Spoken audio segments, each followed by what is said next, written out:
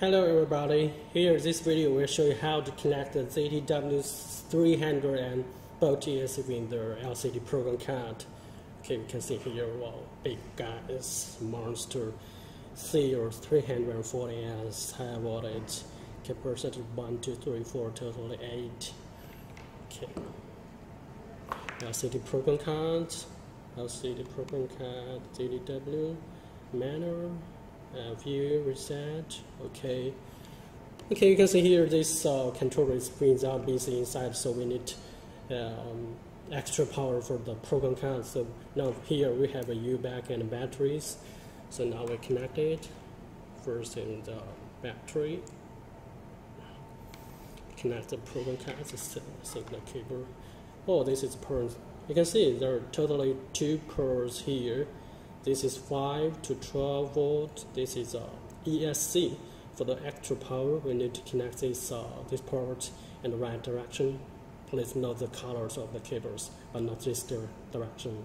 This one, this is correct. Connect it. Whoa, see, ZTW Seal. And next step is connect the power of the controllers. Here with battery, okay, the red cable, that keyboard and connect the program card.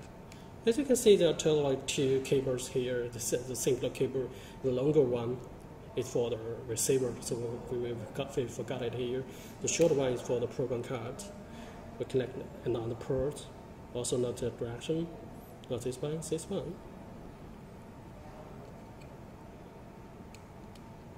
Oh, state.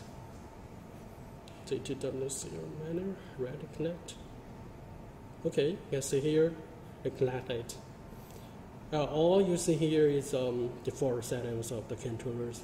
Battery brake time, brake off, battery type, voltage port, motor time, motor rotation, start stress, cutoff time, and so on. So we now we try to um, set one of the functions. For example, we, we, we set the brake uh, view is a sub-view of the functions. Okay, you can see uh, two, three, four, the totally four choices for the brake type. Now we set it to soft brake and press OK. OK for confirming. Okay, the data is saved confirmed. You can see now the brake type is soft brake. You can see now soft brake. And the reset button is um, back to the factory default settings. So we now try it reset it.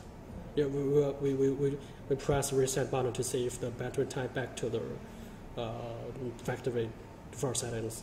Okay. Okay, data confirmed. Now we can say brake off. It means we backlit. So now, if you set all the functions here, last step is disconnect it. So we will disconnect it. Mm-hmm. Okay, so it's okay.